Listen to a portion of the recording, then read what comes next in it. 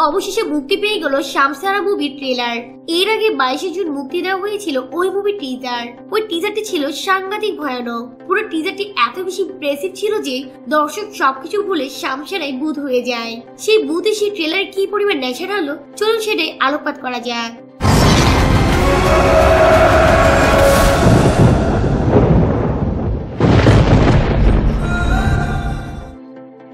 থেকে শ্যামসারার যে গল্পটি আমরা পাই, সেটা অনেকটা এরকম।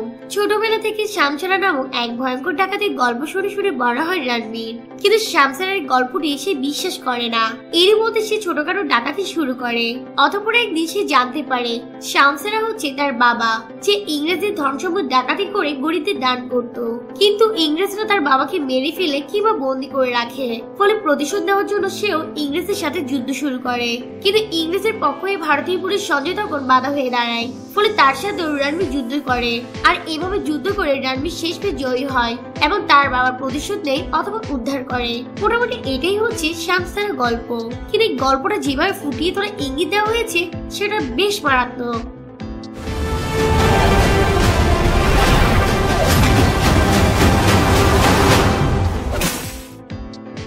ট্রেলার জুড়ে বিশালতার একটি চিহ্ন দেখা যায়।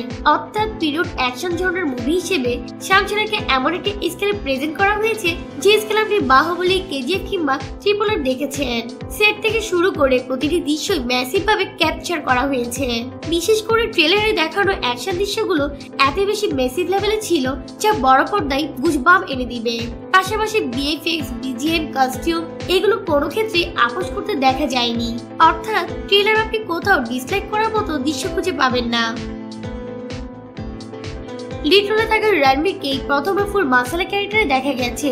এর আগে তারকা যতগুলো মুভি ছিল, সবগুলো ছিল রোমান্টিক না হয় সিরিয়াল ঝর্ণার। ফলে অ্যাকশন লাভার্সরা অ্যাকশন করে না বলে রণবীরকে ট্রল করতো। এই মুভির মাধ্যমে রণবীর সেই ট্রলের জবাব বেশ সুন্দরভাবে দিয়েছেন। লার্সারদের লাইভ ক্যারেক্টারে সে যেভাবে নিজেকে সাজিয়েছে, সেটা এক কথায় অসাধারণ। অন্যদিকে কেজিএফ আর আবারও ভয়ঙ্কর ভিলেন চরিত্রে নিয়ে ধরা দিয়েছে সঞ্জয় দত্ত।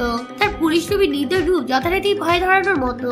সেই সাথে তার কমেডিগুলো ছিল মারাত্মক। খুব বেশি গুরুত্বপূর্ণ না হলেও বাণী কাপুরের উপস্থিতিগুলো বেশ আকর্ষণীয় ছিল।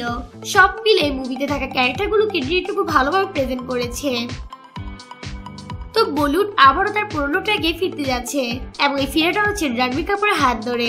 বলতে গেলে বলিউডে জলিশ ফিরিয়ে আনার জন্য রণবীরের শামসারের বক্স অফিসে তেমন কাজ করবে। এই শামসারের পর আবার হাজির হবে তার ব্রহ্মাস্ত্র।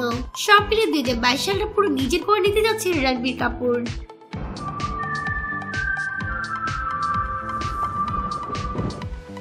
ট্রেলারটি আপনার কেমন লেগেছে কমেন্টে জানান। ভালো লাগলে একটি লাইক দিন। সব সময় সাথে থাকার জন্য আপনাকে অসংখ্য ধন্যবাদ।